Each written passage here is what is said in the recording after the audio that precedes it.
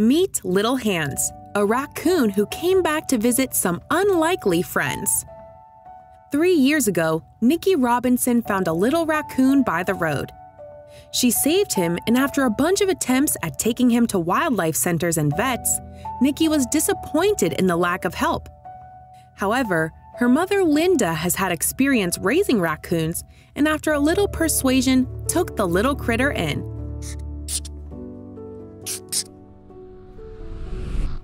They named him Little Hands and fell in love with the trash panda. Little Hands needed lots of love and support. Linda and Nikki fed him, raised him, and eventually let him go. To their surprise, Little Hands kept coming back, sometimes after a few days, sometimes a few months. He would come back and ask for snuggles, pets, food, and just love. Neither Nikki nor Linda have ever experienced such a loving raccoon. This raccoon was originally found abandoned beside the road at about four weeks old. We rescued him from the traffic and tried to find a wildlife rehab that would take him, but everywhere was full, and all they could offer was to take it to a vet to be euthanized or let nature take its course outside. Nikki and her family rescued him, but all the wildlife rehabs were full, and the clinics they went to said that they should euthanize him.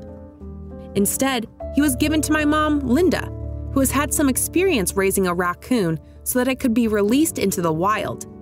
Two years earlier, I had picked up from a friend another orphaned raccoon that was found in a similar situation as Little Hands. I have always wanted to work in wildlife rehabilitation, but I was working full time. So I asked my mom to help with many of the daily feedings.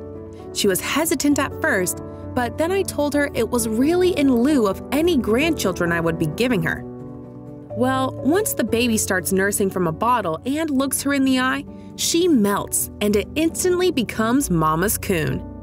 Also, if you have not done so already, please subscribe to our channel and click that notification bell to get inspired by these animal stories every day. Now, back to the story. However, Nikki knew her mom Linda would be perfect for the job of raising the little raccoon, now named Little Hands. Linda has had experience raising raccoons before. So, Little Hands was fostered by Linda, he was released onto her large property and was allowed to come and go as he pleased. He was very fearful of any human or animal that he didn't grow up with, but would come back to visit us most nights. Linda would leave food out for him every night and sit outside on the porch swing at night before bed, waiting for his visit. He would come less and less, and always at night as it got colder. Sometimes we wouldn't see him for a month, and then on a clear night, he would show up and even let us approach him. But the first thing he would do, sometimes even before sniffing his food, is he would climb over to Linda on the swing, sit beside her, and want pats from her. He liked his lower back and chin rubbed the most. Linda fell in love with Little Hands and raised him like a baby. When we found Little Hands, he was dehydrated, hungry, very scared, but still very feisty. Little Hands stayed with us for about two and a half months before he was fully released into the wild. Little Hands has always been a calmer, peaceful raccoon, very loving and compassionate, even as he matured. But still wild enough, he thrives on his own. Little Hands had to be fed very often and needed a lot of care, attention, and love.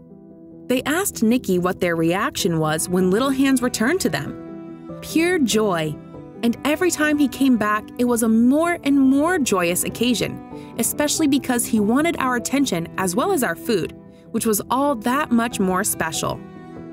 After Little Hands grew up, he was released into the wild to live his full raccoon life. They asked them how many animals they have saved, and they said, I think our total now is over 15 raccoons over five years. I've also worked with several other animals, but none as close as the raccoons. My mom and I would like to open an official wildlife rehabilitation center in the future, and I am working on getting more licenses and training for the different species. But in the end, we take the raccoons because no one else will due to their abundance in nature already. Every animal deserves a chance, right?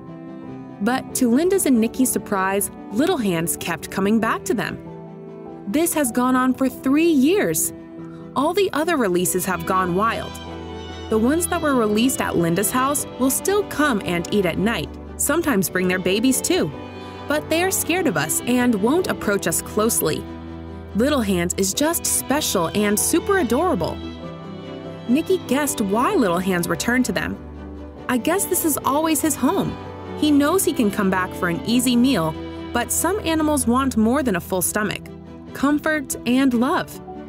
The best part of saving animals is watching them grow, learn, thrive, and mature. The hardest part, which is also one of the best parts, is release time. Usually, by the time of release, they've already been mostly on their own, but still confined in an outdoor enclosure. When the time comes to do our soft release, we don't know if we may see them again. No other raccoon they cared for has come back to visit that often or come up to snuggle with them. Nikki tells us more about herself. I don't like being in the spotlight myself, but I can say I'm passionate about animals of all kinds. I've been in the vet field for a few years and we are educated in what we do. I've always loved animals, and if I'm not working or rescuing them, I'm trying to photograph them in the wild. One day, I'd love to be able to fund our rescue by selling photography prints since any wildlife rehab is expensive and 100% self funded.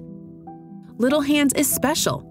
It's been three years and he still comes back for snuggles, scratches, and of course, food.